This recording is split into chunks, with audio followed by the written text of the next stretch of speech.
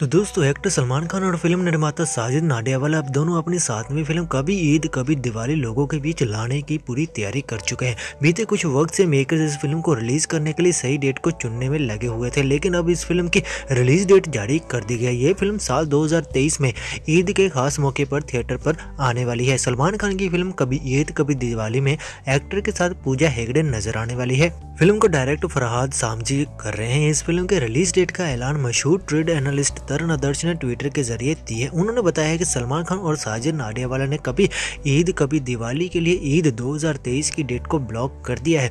Film Eid 2023 के weekend के वक्त बड़े पर्दे पर रिलीज़ होने वाली है। अब की जानकारी के लिए बता दें कि सलमान खान की फ़िल्म किक भी ईद के मौके पर रिलीज़ हुई थी और इस फ़िल्म ने बॉक्स ऑफ़िस पर 200 करोड़ रुपए की कमाई की थी। तो देखना ये लाजवाब होगा कि ये फ़िल्म बॉक्स ऑफ़िस पर कैसा कलेक्शन करती है, क्योंकि कुछ फ़िल्में सलमान खान की बहुत अच्छी नहीं जा रही। आपकी क्या राय है? मुझे कमेंट करके ज़रूर बताएँ। साथ ही इस वीडियो को लाइक करें और मेरे चैनल को सब्सक्राइब करें। मैं इसी तरह की लेटेस्ट अपडेट देता रहता हूँ। मिलूँगा नेक्स्ट वीडियो में। जय हिंद।